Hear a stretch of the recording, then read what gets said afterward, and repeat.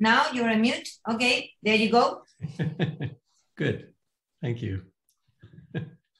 so, um, yeah, for the last speaker today, uh, it's really my pleasure to introduce Eric, um, who I came to know back at Princeton. Hi, Eric. Thanks for joining us. Really appreciate it.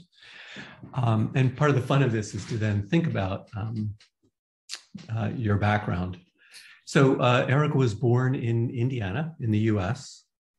Uh, he got his undergraduate degree in biology from uh, University of Notre Dame, where I believe that's where you first encountered flies by making fly food. PhD at Yale University, where uh, Eric trained with Don Poulson and then Walter Gehring. These are two legendary fly biologists. So Eric really comes from an amazing um, lineage in uh, Walter's lab, uh, Eric did a series of lineage studies, which really the first studies I think I read of yours. And it was at that time that Eric began to think about embryogenesis in terms of broad patterning, began to learn how to score these patterns and so on. I think really began to think about it. And I have to say, um, of the many talents of Eric, just really thinking about and looking at, looking at the embryos and the larvae is probably one of his great strengths.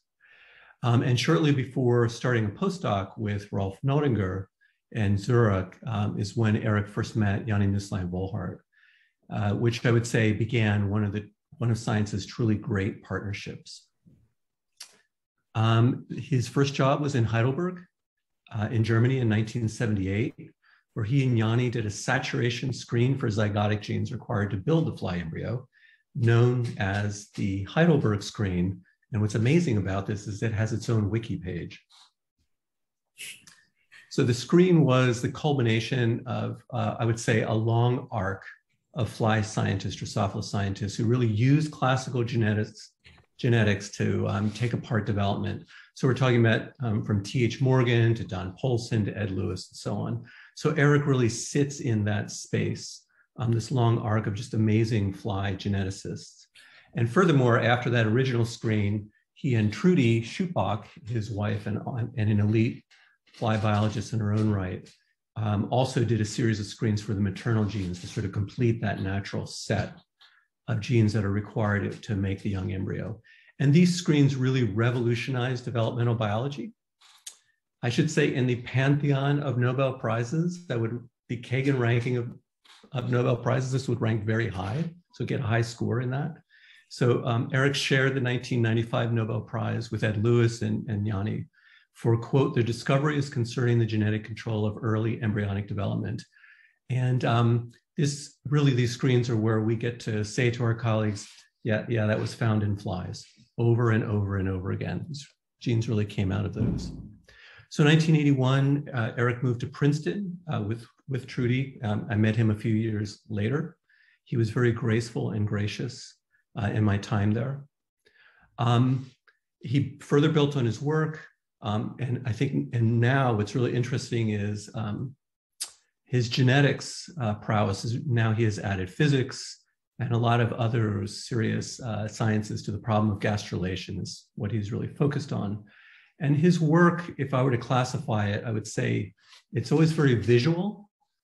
Um, and he really takes a problem has a clear vision of where he wants to go with it, and he walks that road, which I, am always very impressed with.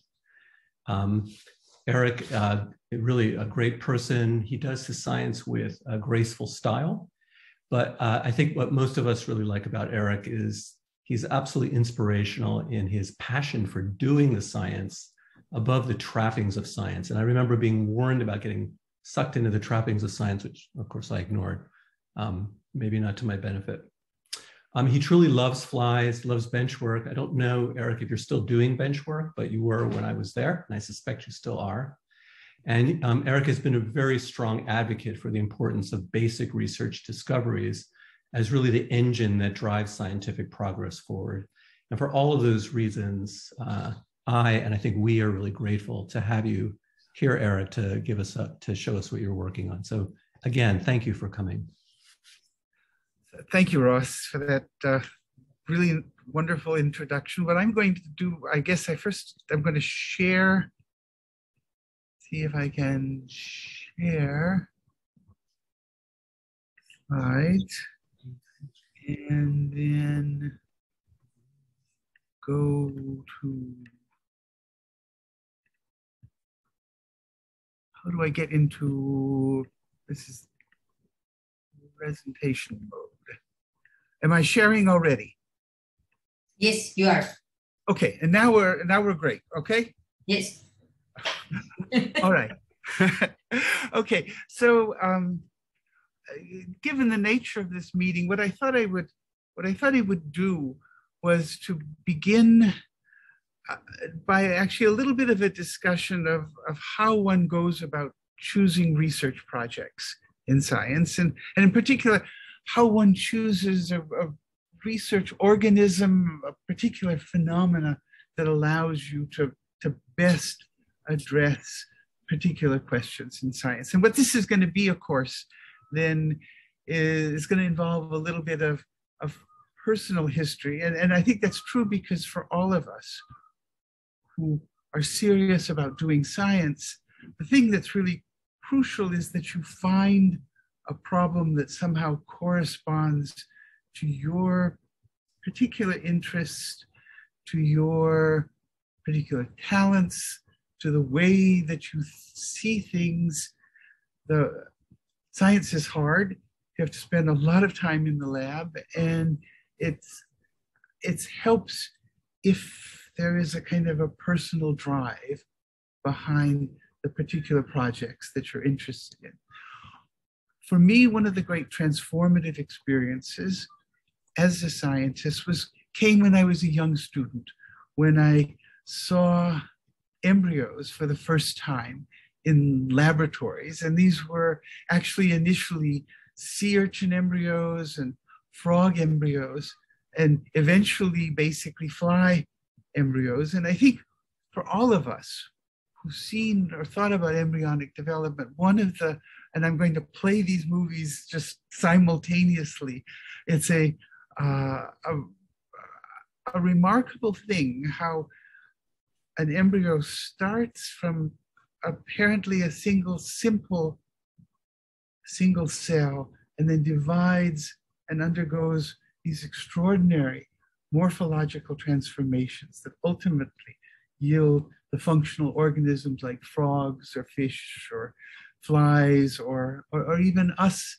humans in our own bodies. And if you, and even at the time, although I was mostly struck by the, the certainly visual impact, if you look at cells,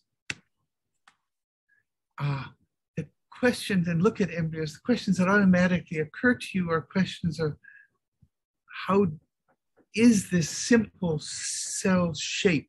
How is how are embryos shaped?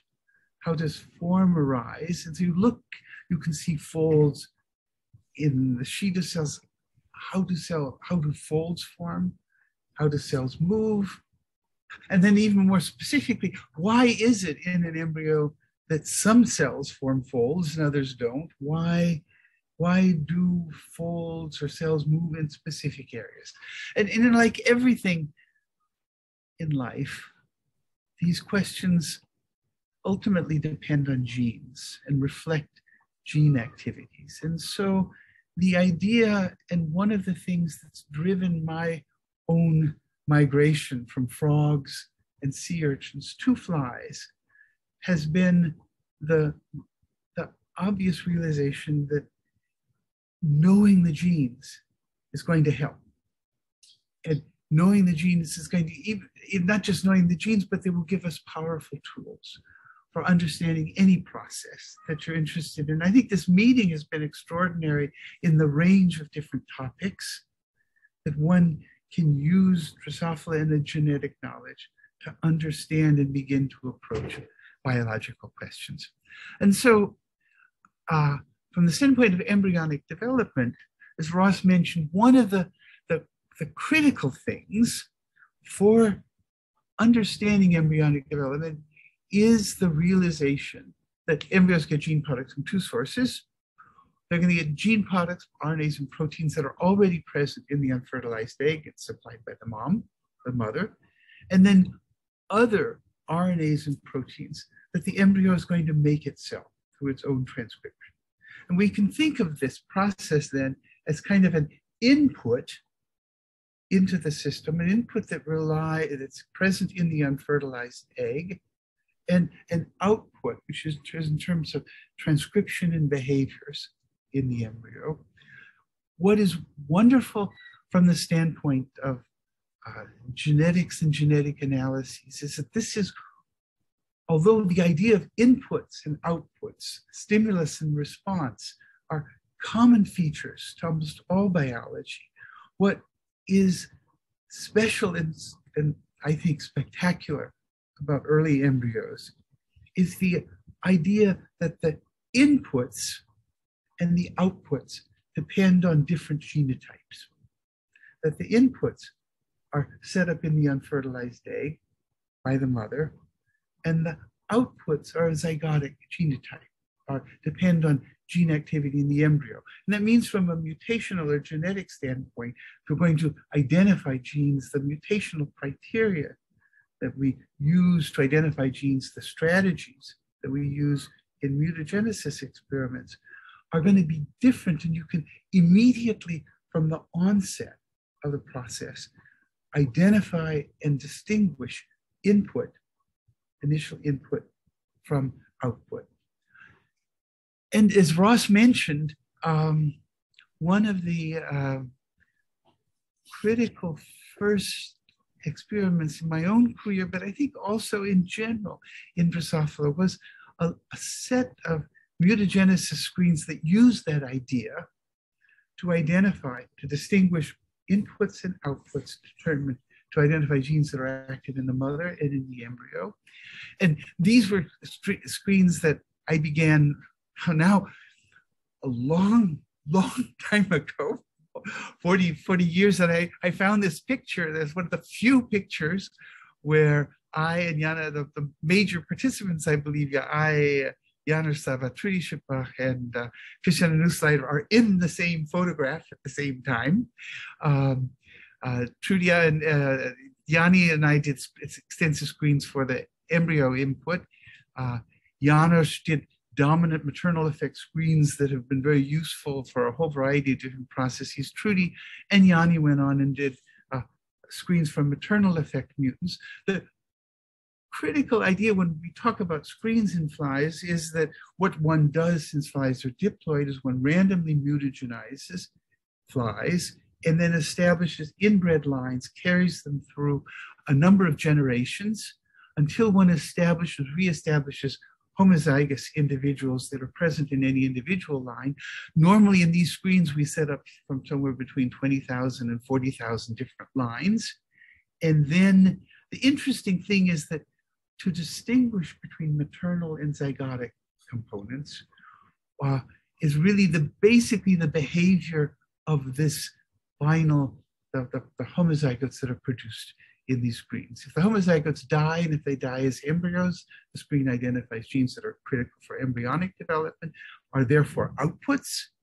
Uh, if screens uh, allow these, these females to survive, uh, individuals to survive because females to be sterile, uh, these genes are essential for female fertility and are um, define maternal inputs. Now, these screens were done to an extent that we believe it was, we might as well stop doing them that we had identified most of the genes involved in these processes. And uh, I'm having trouble escape. I um for some reason my PowerPoint has frozen. I'm not advancing. Try the arrows on the on the left. Ah, and it worked. Finally, yes. And so what I'm going to do, since this, this talk is actually going to start out fairly general and then it's going to shift in to use those general ideas for some very specific analyses. Uh, if I look back at those screens and say, what are the, the their major contribution, in addition to just gener generating the, or identifying the the genes and the relevant tools that many of us have used in subsequent studies, there's some certain general important ideas that have emerged. And one of the critical ones is the relative roles of maternal versus zygotic genes in early development. There are about 13,000 genes in flies, and uh, if you look at early embryos, about 7,000 of them at least are expressed as RNAs. And what one has learned from the screens is that the vast, vast, vast majority of all of the RNAs, proteins that are needed by the embryo, are supplied by the mother in the unfertilized egg. Most of these, and this includes ribosomal components, everything required for transcription, for the cell cycle, so everything that you see or that cells need to do are supplied by the mother in some form in the early embryo. And the other feature is that they are uniformly distributed such that all of the cells in the embryo have all of these capacities. The, there are, however, among the maternal contributions, relatively rare maternal transcripts or proteins that are localized in specific regions of the egg, and these provide positional information to the cells that form in the embryo, instructing them for what they're going to do. So there are a small number of these. In general, though, when we think about maternal components, it'll be important to think that almost everything that we see is supplied maternally and defines behaviors that are available to all cells.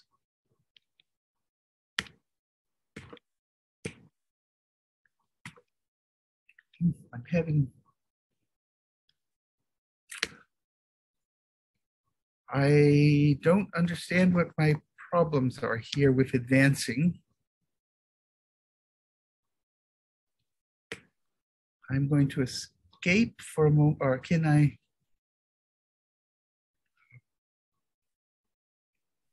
If you press the the arrows at the I'm pressing the arrows. This is interesting. And it doesn't work. And nothing seems to work. It's as though, um, ah, ah, there you go every once in a while, there's a magic press that I do. Something wonderful happens, and we advance. And so the uh, so there are a small number, about 150 genes, which are required early in the embryo for either defining cell shape, uh, uh cell, cell fates, or defining morphological trans, transformations. And the, the striking feature of those rare genes, they're rare, and one can ask, why is it that the embryo, if the embryo, if the mother can supply almost all genes to the embryo, what's the special feature of these of zygotic transcription? What does zygotic transcription supply? And it supplies, if one looks at these genes, virtually all of them are expressed in very tightly defined temporal and spatial patterns. So genes are um, a gene is, and what transcription allows you to do is to make cells different from each other and set up specific cells into specific patterns. So, uh, and most of these genes are either transcription factors or signaling molecules. I think, but I'm, ah, sorry, I'm trying different types of of advancing strategies. Uh, actually, what I might try to do is, is can't even escape. Oh, okay. Uh, so now, so what, um, uh, so now, um, what did, oh, I'm back to the problem again. Uh, what I'd like to do is step back from that general view and, and return to the problem of morphology and how embryos change shape and try to think about that from a, a, a, a cell biological uh, standpoint. The, what we're looking at in these figures here are cross sections of Drosophila embryos. And what we're going to, uh, and looking at the, the panel on the far right, what we can see is that this, I am. really- Eddie, Yeah, Eddie, just a second. You know, go with your arrow on the on the slide. No, put put the full presentation. full as you it. presentation. The full. Uh-huh. present- Uh, no, from the one. No, we're going to full presentation. Let me see. I think you're not choosing the right arrows with this with the cursor. There, go there. Okay, Now, if you go to the bottom left, you see those arrows there next to a pen and an edit box on the left. and, oh, these, aha. These ones, yeah. Ah, I- those are, the- I'm, I've been using the ones on my desk, on my desktop. They on my- should they should work, but yeah. Okay, This is Yeah, much better. Er- Eric, the only thing is that sometimes they disappear, so you have to go with the pointer to the bottom and they will appear again. Okay, I've got it. I think I'm gonna, look, guys, I think I'm gonna be able to do this okay. Now we're back into mode. Okay, so given that basic genetic background, which is actually unique to Drosophila in the detail that we have available, one can begin to, we, we turn to the question of morphogenesis and specifically what we would like to do is bridge the gap between uh, genes to mechanical uh, cell biological uh, movements and property and even physical properties like force and movement. The specific event that we're going to talk about in the embryo is the invagination of the cells on the ventral side of the embryo that make this fold that will translate, um, that will move the future mesodermal cells, the cells that will make muscle, uh, into the interior of the embryo. And from the genetic screens, we've learned that there is, uh, that this process is set up by a maternal protein, transcription factor called dorsal, on the ventral side of the embryo that activates the expression of two key regulators called twist and snail. And it's the presence of those two genes, which are transcription factors and define mesodermal fate, that drive the specific cell shape uh, changes that move mesoderm into the interior. Thank you. This is working much better now.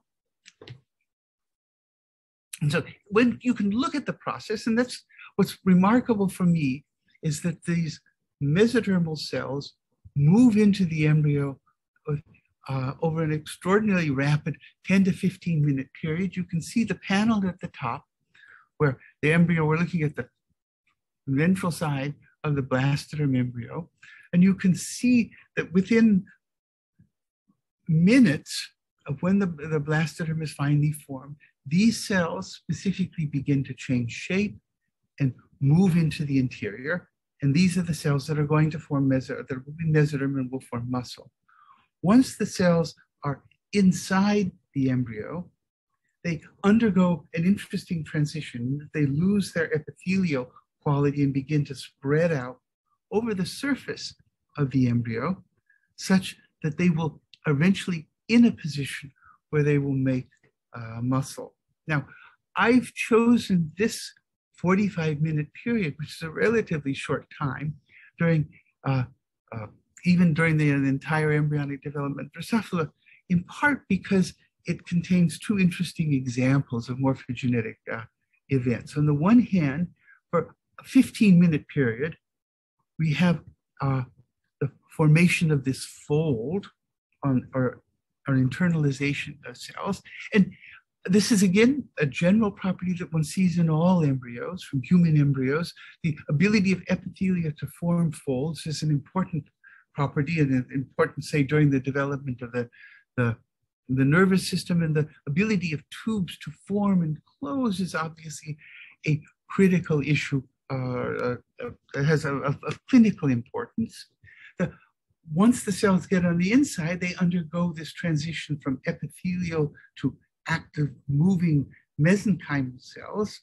And that transition, which is essentially an epithelial mesenchymal transition, is uh, something that one sees throughout the development of many organisms and also in, in, in clinical examples of uh, like metastasis during cancer. So one of the goals here is to try to use the fly embryo to understand these basic, you know, this the basic underlying cell biology of how one makes folds physically, how one transitions, what is it that controls the timing of these events.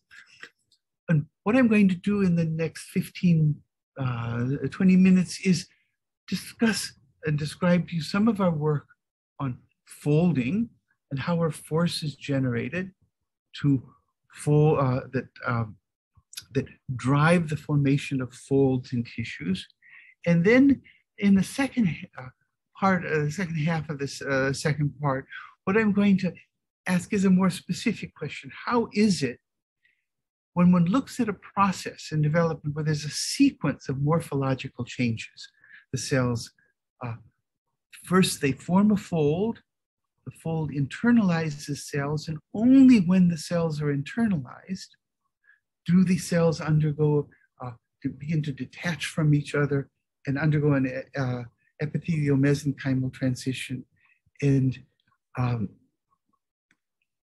begin to uh, divide and spread out over the surface of the embryo. So what we'd like to know here is how is it that sequences of events are controlled in developmental biology? Uh, how is it the time spans over which we're working uh, are basically consistent with maybe only one or two rounds of gene expression. So how is it mechanically that one controls a sequence of events, uh, particularly what you obviously want, you don't want the cells to detach from each other and begin to spread before they're internalized. If they were to detach, uh, the, the, the attachment of epithelial cells to each other is a requirement for to be able to make folds or to for, for and so how does the how do how do folds uh, the, the, the sequencing is important, but to understand the sequencing, one has to also understand what are the mechanical forces involved in uh, epithelial folding. What we've what we're looking at, we can look at the process.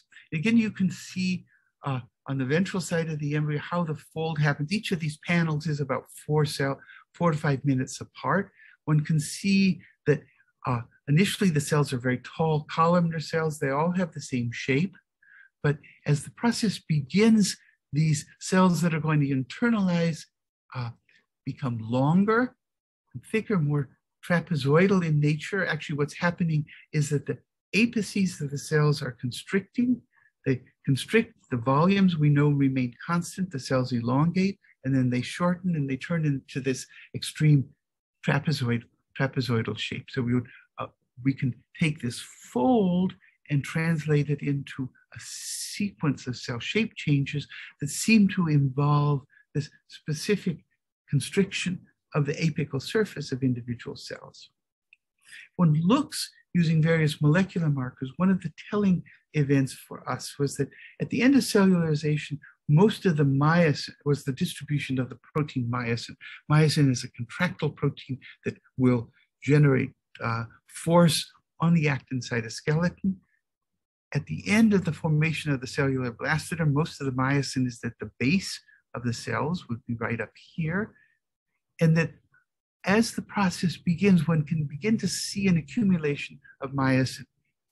Apically, and if you put a contractile uh, uh, force here on the apical surface of the cells, you can easily imagine that that localization of this myosin here is what's driving the apical constriction and the cell shape change. Now, we go back and look at the genetics. We know we've learned quite a bit about how myosin comes to be activated and localized into this ventral furrow.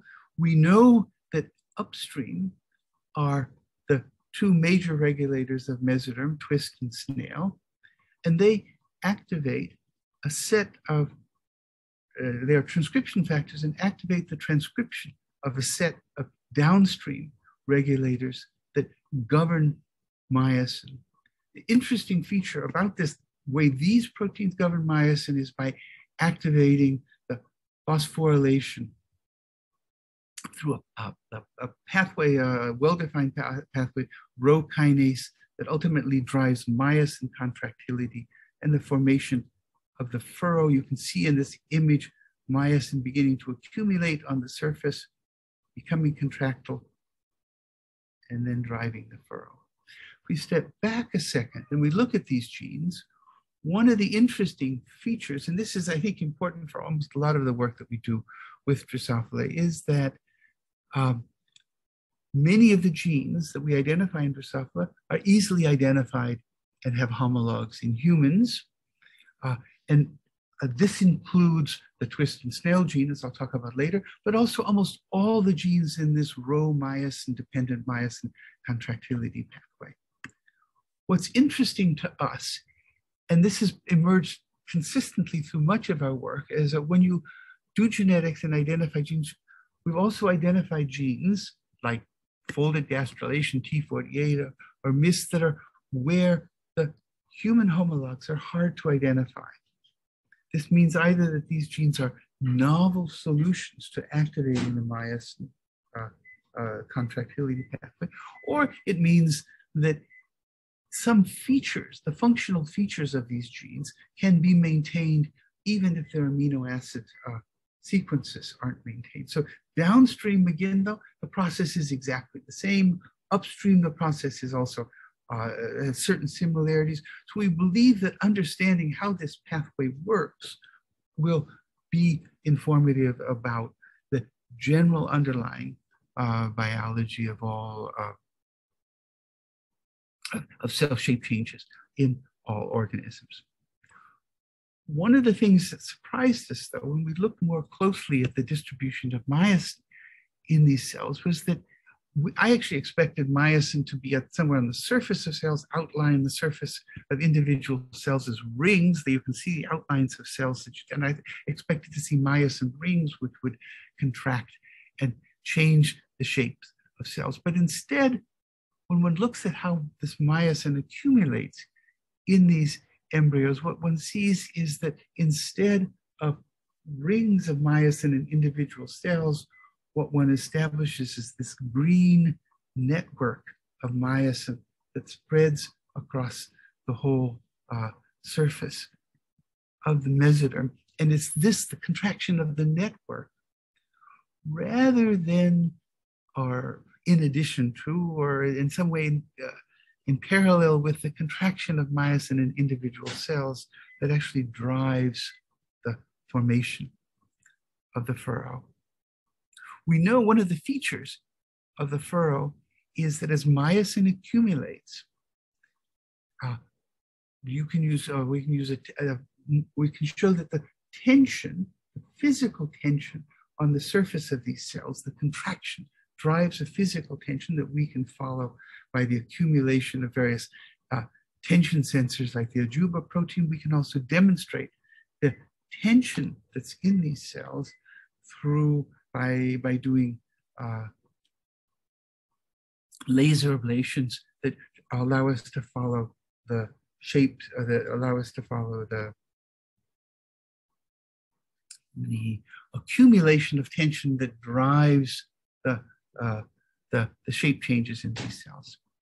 A second interesting and useful feature for us in following the behaviors of individual cells was that if you can follow here in this red and green panel where we're looking at the surface of a small region of the mesoderm, in individual cells, you will, although this is a network of green interconnected actin and myosin, in individual cells, myosin accumulates and goes away, accumulates and goes away, as though the whole system is a pulsing system of myosin.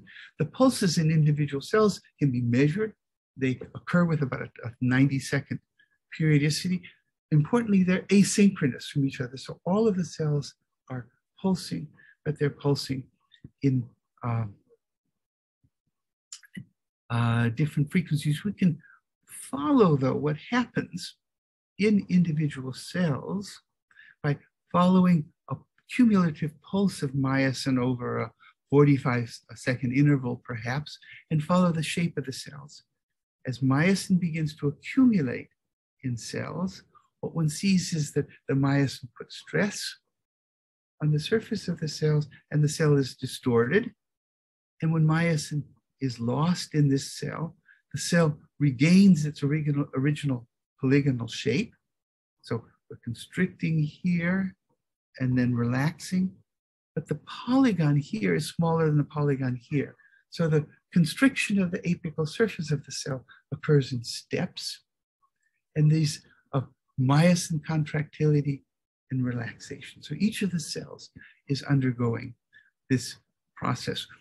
Uh, we thought a lot about why it, why it, you know, why biology is like this. It turns out that after we had observed this pulsing in myosin, many other, uh, the same type of myosin pulsations were observed in, across the animal kingdom. Myosin generally seems to work this way in steps of contraction and then relaxation.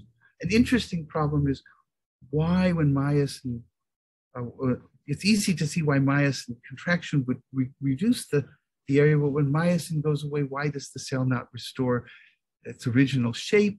And so there has to, it tells us there has to be other additional mechanisms uh, that would maintain the cell in its shape. What for us, though, has been a useful feature of this pulsing of myosin in the embryo, uh, in the ventral furrow, is that we can see myosin, we can see it, we can record the pulses, and we can record what cells do. And I've just shown you that the shape, the apical surface of the cell also undergoes cell shape changes, which are pulsed, and they're pulsed in coordination with the apical, uh, with the surface change, with the uh, uh, myosin pulses one of the remarkable things we found is that every uh, feature that we've looked at, from nuclear position, nuclear movement, increase in surface area, the various, any aspect of these early cell shape changes that we can see, that we might have thought depended on microtubules or other systems, shows the same pulsing rate, it shows a a coordinated stepwise morphological transition that is characteristic, uh, that is governed by the rate of, of myosin pulsation. So now what we've come to uh, come to uh, begin to think is that probably the major morphogenetic motor for almost all early development is the cytoplasmic uh, motility or the cytoplasmic uh, contractility of myosin and the various inputs in the outside the ventral furrow everywhere in the embryo will depend on myosin accumulations and the, and the resultant stress. So one of the my current collaborations that I won't go into today has been collaborations with biophysicists to measure global myosin distributions across the whole surface of the embryo and try to build biophysical models for morphological change based simply on myosin accumulation. We don't think this is going to be possible. We think we're likely to fail at some point, but that becomes the interesting thing in science to ask how far can we push a very simple model to explain things that are probably ultimately become more and more complicated. And so this pulsing of myosin has opened our eyes to a, a new experimental approach to thinking about the processes. What I'd really like to do though in the last 10 minutes that is talk a little bit more about this second transition, this epithelial mesenchymal transition that also happens in um, mesodermal cells. Again, uh, it happens in response to the expression of twist and, and snail in the embryo that determines these cells to be mesoderm and drives the fold formation, but also drives then this epithelial mesenchymal transition. All the proteins that we're going to be looking at are maternally supplied in uniform throughout the embryo. So the question then becomes, how does the programming of expression of twist and snail in these mesodermal cells drive two different behaviors, formation of a fold, and then the detachment of these cells in uh, and uh, a division and a, uh, a spreading behavior. Same genes are governing both of these behaviors, but they happen in sequence. Um, think we can follow these behaviors. Now we're looking at fly embryos where we, I've, I've kind of dis, dissected out, dissected the embryo, we're now looking inside the embryo at the ventral side of the embryo. We've, we've stained the cells. This is right after the cells are still epithelial and have moved into the interior of the embryo. And then we stain the cells with blue here. These are the same embryos, so we can identify where the mesenchymal, where the, the we can follow the transition using scanning EM of cells that move into the interior and then begin to spread out over the surface. And because we're using scanning EM, these processes, we can go to very high magnification and follow the morphologies of the cells as they undergo these epithelial uh, transitions. One of the things, uh, this uh, process that normally your epithelial, you detach do a cell division and then begin to spread.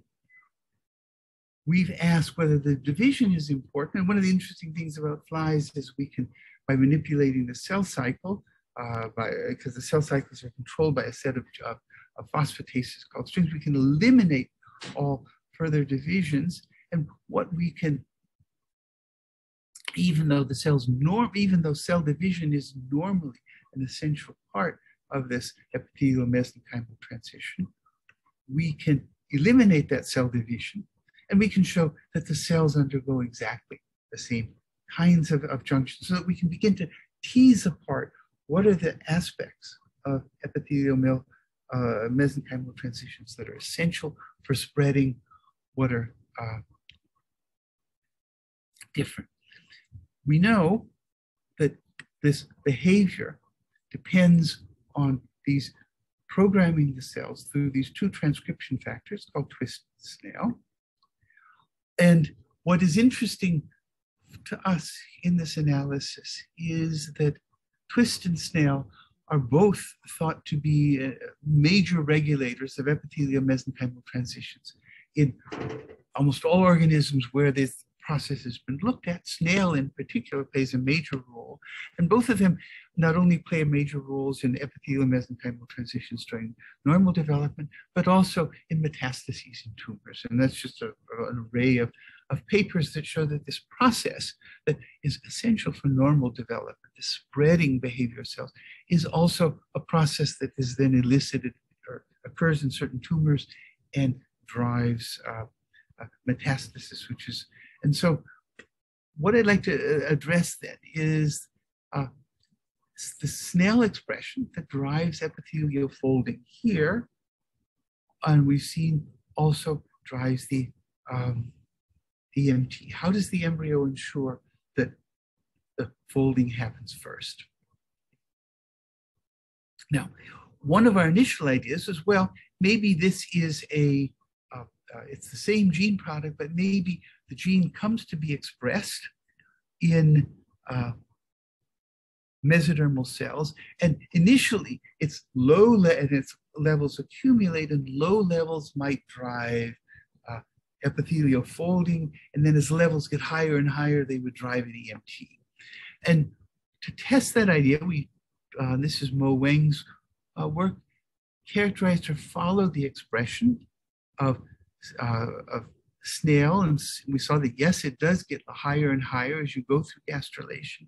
But what was surprising to us is that even at these very early stages, where snail is being expressed, it at the early stages, it's not that early low expression drives epithelial folding because at early stages, the snail expression here begins to drive a disassembly of junctions already during cellularization in the ventral side of the embryo. You can see that here at time that the, uh, we're looking at uh, over a 15 minute period, uh, junctional proteins are high at the beginning and then towards the, and they begin to fall and are low. And then right at the end, right as the embryo begins to gastrulate, uh, adhesion proteins and epithelial character comes back. So what that tells us is that snail, which has this activity to drive the fold and to drive mesenchymal activity, is actually trying to do both of those things during its initial expression periods. And you can, um, but what one sees is that the epithelial mesenchymal transition, which begins, that is, junctions adhesive junctions begin to come apart, that process is uh, correlated. Uh, uh, the, the process then is stopped or rescued because the junctions then begin to come back. And that junction come back actually simultaneously with the pulsing of myosin activity. We can again record the pulsing activity and we can show that the junctions are restored and resume morphology in a stepwise fashion. And that suggests to us that uh, in some way, and this was an unexpected idea about me- epithelial mesenchymal transitions, that myosin induced tension blocks the ability of snail to induce uh, junction loss in mesodermal cells. The snail is doing two things, but uh, the junction loss that's essential for epithelial mesenchymal transition is trumped or dominated by uh, tension induced by myosin activity. And to test that idea, that whether snail express, whether uh, tension will block epithelial mesenchymal transitions, what Mo did was to develop an artificial system where she moved the cell shape behaviors and the behaviors that we're looking at to the ectoderm, the epithelial ectoderm, cells that normally don't express snail. So the first question she asked was if one, using the power, using the, the a Gal4 UAS system, drives the expression of snail in the ectoderm as well, we know that if we don't, if you don't also express twist, these cells are not uh, transformed into ectoderm, are not transformed into mesoderm. But the one thing that happens if you express snail in these cells is that the expression of snail in the ectoderm here drives the loss of all the epithelial junctions and causes cadherin and, and, and beta-catenin to now be localized along the surfaces of cells. So snail in the expression in the ectoderm is able to drive um, junction loss, but you'll also notice that it doesn't occur. The one place where ectopic snail doesn't drive junction loss is in the mesoderm, because it's in these cells where twist and snail working together are driving uh, myosin contractility. And, and therefore, in our model, the tension that's driven here will uh, allow or stabilize these junctions. To test that idea, what Mo did next was to, in addition to expressing ectopic snail everywhere in the ectoderm, also express ectopic folded gastrulation. I introduced folded gastrulation to you earlier. It's the gene which actually drives myosin contractility in the embryo. And if one simultaneously drives myosin contractility, uh, uh, drives snail expression, which is going to drive an EMT, but myosin contractility, what one sees is that one restores the uh, morphology and the localization of the junctions. So what that suggests is that it's the accumulation of myosin in the mesoderm that blocks EMT.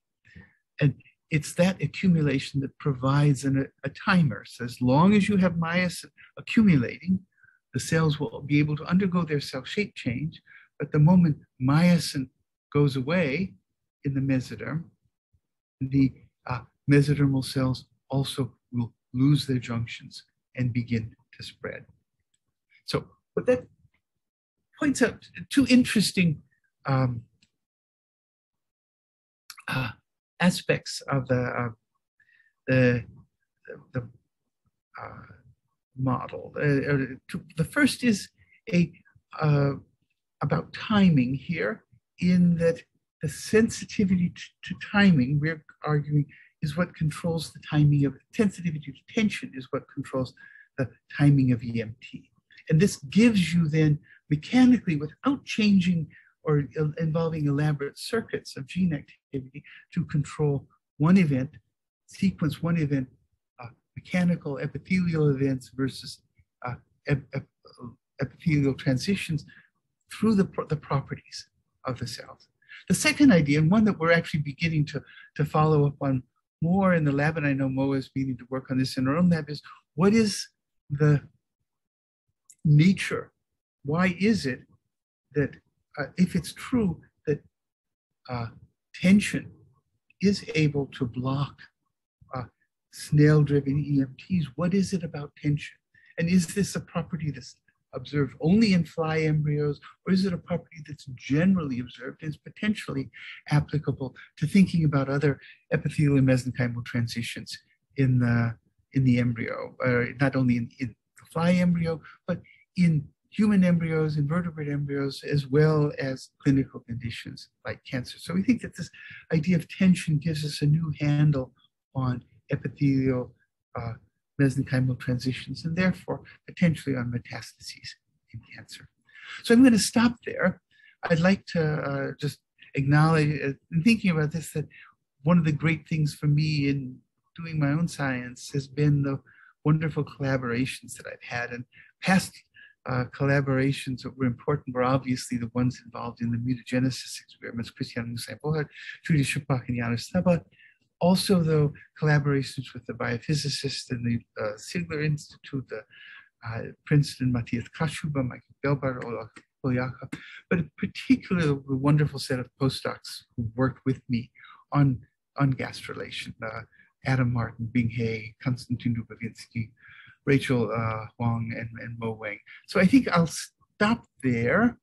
And if we have time, take take questions. Do I um, Okay.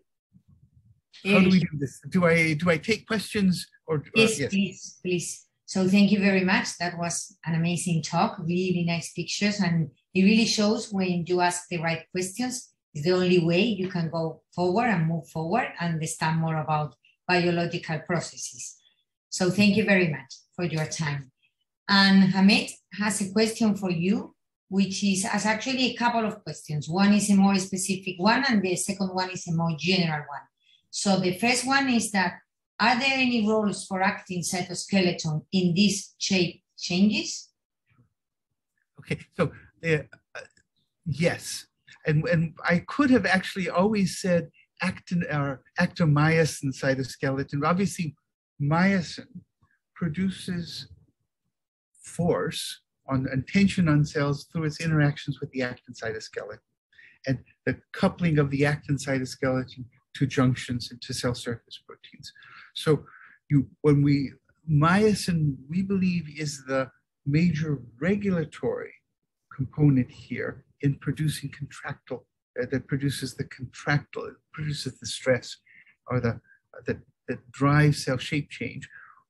It is clear though and something that we uh, is the assembly of the actin cytoskeleton the position of the actin cytoskeleton and its association with junctions is something that changes over time and has to provide the, the background or that has to provide the fundamental structures to be able to allow myosins or these networks of myosin to produce force on the whole embryo. So let me, before going to the general one, let me ask you another question is that how much is known about the role of the neighboring cells because you know Ah. it's a tissue; they are connected. Yeah. So whatever happens, no, to of course. Yeah. it's uh, it's it's it's a um, exciting area. And you, there, there's two ways of, of that we've approached this. One is to try to, since we record the behaviors of all the cells, what we've tried to do uh, in, in this pulsing behavior, say if a single cell pulses, is there, uh, we had initially thought that that pulsing might induce pulsing and there would be waves of a cell contraction. We don't see anything that organized. Overall, we see in general an independence of cells. However, if you look very closely, I think Adam Martin has a beautiful uh, set of papers where he's shown a shown there's an impact that cells don't exist in in isolation, and um, so that's on a local cell level. The other question is we have a group of a, a 800 cells on the ventral side of the embryo that are mesoderm and are doing this and contracting, and they must be exerting forces on the remainder of the embryo. For two, and, and what one sees, obviously, those cells move. We, um, we've measured these cells now. What, what we know is that in response to the internalization of mesoderm, mesodermal cells moving into the interior, all the remaining cells on the surface of the ectoderm become stretched by about uh, 20 to 25 percent. They remain, they maintain constant volumes, and they um, their surface they become shorter, and their surfaces become bigger, and they maintain the continuous surface of the embryo. So, a simple way of thinking about this, and this is the way I still favor, is that this is a passive response of the surrounding cells to the stress induced by mesoderm and endoderm. There's only one observation that's beginning to argue against that. This is an experiment which I've done, which is has been late. One of my own laboratory experiments in lab is to use maternal effect mutants to generate embryos where you flattened all of the maternal gradients and made cells establish an embryo that's only composed of mesoderm at a particular point along the anterior, or only composed of ectoderm, or only composed of posterior midgut cells. So you basically, you can imagine by altering the maternal gradients, one establishes a uniform blastoderm where all the cells are trying to do the same thing. When you do that with mesoderm, all the cells try to contract. That's okay. And the embryo has trouble. Because it, it- it's Mhm. if you do that with ectoderm, this is the observation that I don't understand. I thought that if ectoderm was just totally passive, it would just sit there forever and not do anything. What actually happens is that the ectodermal cells, at the time when gastrulation would begin or would be happening, the ectodermal cells on their own become shorter and become maintain constant volume and become wider. And what that does is it crinkles up the whole surface of the embryo, thrown into tiny little mini folds. Mm-hmm. And so what it suggests to me that, is that my idea is wrong about passive responses in ectoderm, mm-hmm. and that the ectoderm may be undergoing a coordinated self-shape change that is that allows it to spread. That it's not just that the cells spread passively, but that they're also programmed to do that. I haven't figured out how to test that idea yet. This is really one of the things that I'm doing that I that I personally am doing at the bench, and I haven't figured out quite how to how to do it yet. But I'm now balancing the old view and the new view Mhm. about passive versus active ectodermal responses. Okay, thank you. So just uh, the last uh, specific questions, and then we will let Hamed to ask you broader question. So the specific question is from Christos, which I think is a, is a, is a good one. And he asked, are there a minimum number of cells that can invaginate? Ah, I think um, I don't know the answer. I know that the way that people have um, that can approach that. We know that with optogenetic manipulations that we can make small spots of cells which will activate the Rho kinase and drive an apical constriction. Mhm. So that is known. Mhm. What is less well known is whether you can build an invagination. What's required for an, well, a single cell, I would suspect that a single cell that you induce to constrict, the very most that it can do is detach and ingress into the interior. So you clearly need a group of cells Mhm. to make a fold Mhm. and to make the kind of invagination mechanically that you see. And there are groups right now that are really working on the biophysics of the geometry of Mhm. primordia and how that drives, how that, how you can drive specific folds. I don't know if you make it very small, if you make the spot very small, whether you'll actually get internalization Mhm. and I, I, I that's a great experiment. I, I think, I hope the people that are doing those optical, uh, yeah, up, optogenetic manipulation, they're probably they're doing those things. I just don't know what the answer is. But it's an exciting place to be right now. Okay, thank you. And now, um, Hamid, would you like to ask the question? I don't know Yeah, whether yeah. I can unmute. Are you unmute? Yes. Yeah, yeah, yeah. I'm unmuted. Yeah, sure, that's fine. Right. Thank you so much for the for the talk, Eric. That's really fascinating and really awesome. So my question is, you've been part of the system for for several years now. So can you predict, or what was your prediction about Drosophila research in 20 years, in 30 years? So what what do you think your prediction is? It's a good question. Um, but I think, yeah. So my sense is that uh, there are many powerful technologies that have been developed. Mm, Unmute. All right. There are many power. Sorry. Wait, wait.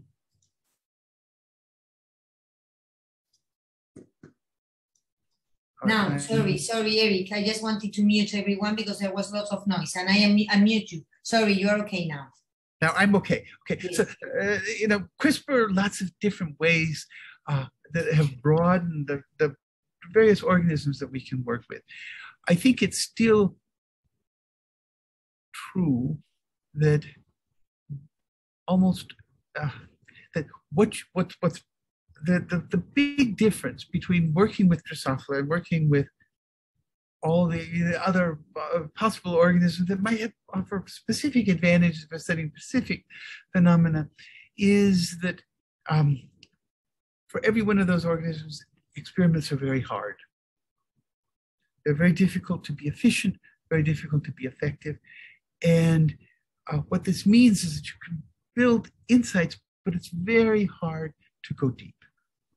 It's very hard to get to uh, uh, to, mechanism to the, the problem of mechanism, the problem of organization of the cytoskeleton, the problem of epithelial mesenchymal transitions are so difficult and so complicated that you need, I think we will always need an organism, a prime organism that allows you, that brings all the advantages and all the efficiencies for looking at these basic biological questions.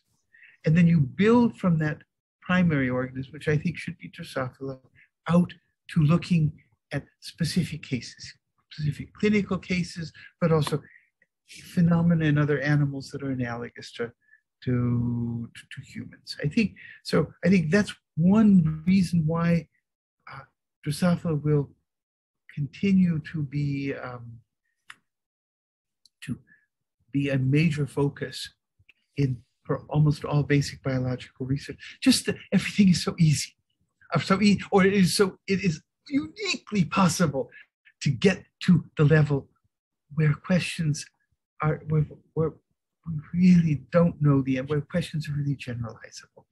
The other thing that I think is true is that science always builds on past on previous science. And so when I think of the Drosophila embryo, when I think when I was when I was a child, when I was young, I um, and was fascinated with embryos, the question seemed impossible. And that how would one ever understand anything about programming of cells? And the remarkable thing for me over the 40 years that I've been a scientist is that many of those questions that I thought were impossible and hard to do are now answered. And we know them. We know them for flies. And we know extraordinary details about the process in flies. So, what that does is it opens up the fly embryo as an opportunity to study all of biology.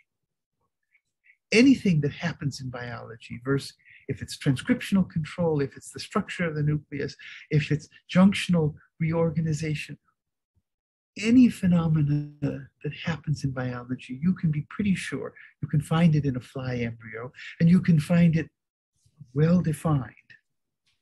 So you're able to use the fly embryo. You could be not interested in embryonic development at all and only interested in junctions or only interested in DNA protein binding to DNA.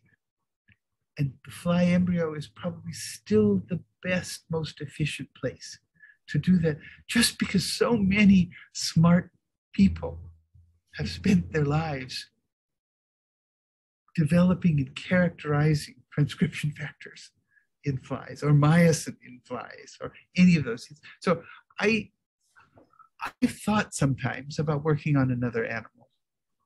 I have thought that occasionally, and because you see wonderful things. And I when I started off, I wanted to work on frogs.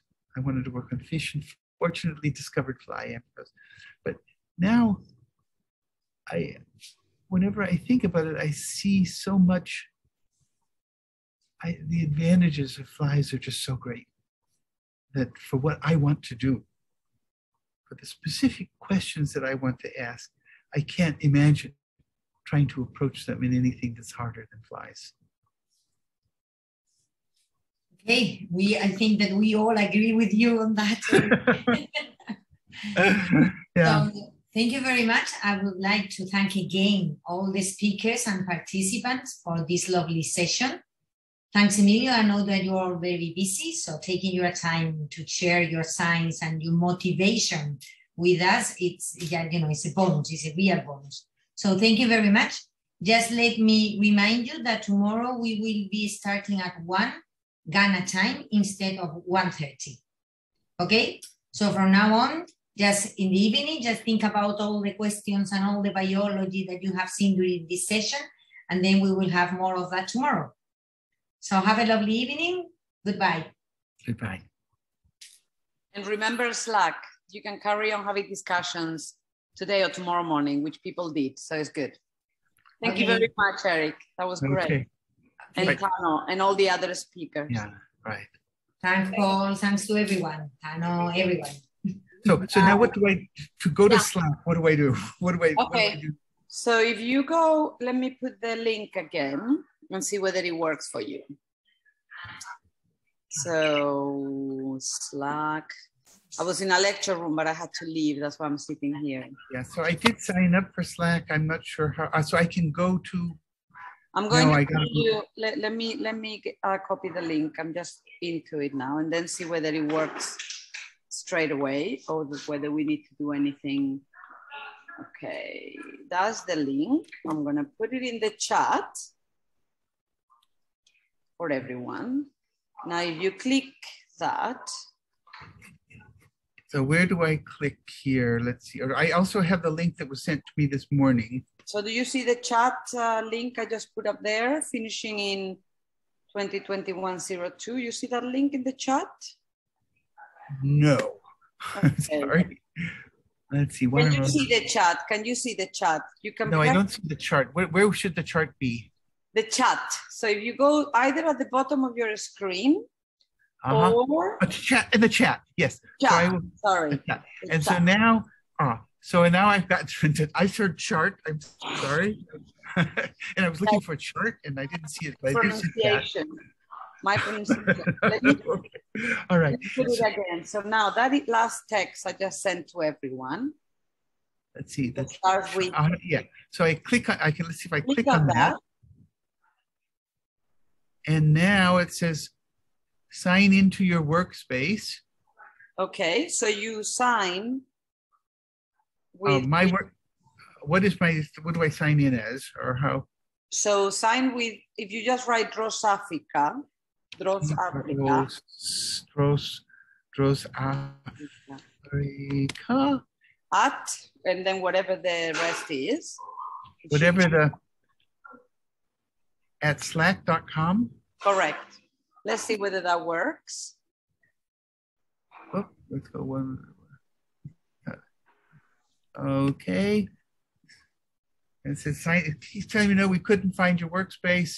I could try one other thing, which is if I go to the link that was sent me this morning, Yes, that would be the best. Yeah, maybe try that. let's try that. All right. And we will, now we got using Slack, uh, nothing much happened. Handy links. Okay. using Slack, Slack. I clicked on the things that said join now. Yeah. It wasn't, and it didn't really do anything for me except, ah, it said, here we now join, join your full name, and there must be a password or something. Is that possible?